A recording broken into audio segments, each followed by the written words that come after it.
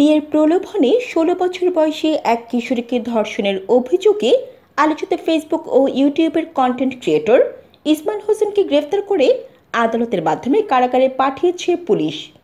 মঙ্গলবার সকালে ভুক্তভোগী কিশোরীর মা বাদী হয়ে হালুয়াঘাট থানায় মামলা দায়ের করলে হালুয়াঘাট থানা পুলিশ ইসমাইল হোসেনকে গ্রেফতার করে বুধবার ময়মনসিংহের আদালতে পাঠায়।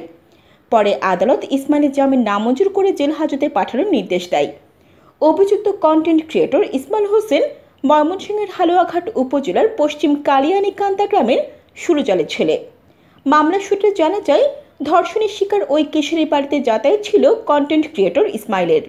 গত পাঁচ থেকে ছয় মাস আগে ইসমাইল ওই কিশোরীর বাড়িতে সে তাকে প্রেম ও বিয়ের প্রস্তাব দেয়।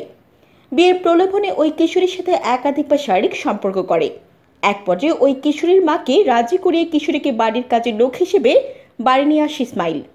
বাড়ি এনে ইসমাইল কিশোরীর সাথে একাধিকবার শারীরিক সম্পর্ক করে বলে অভিযোগ ওঠে।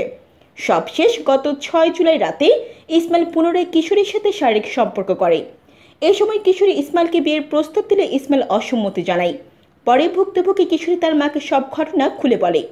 বিষয়টি নিয়ে কিশোরীর মা আত্মীয়দের সঙ্গে কথা বলে এবং মীমাংসার চেষ্টা করে।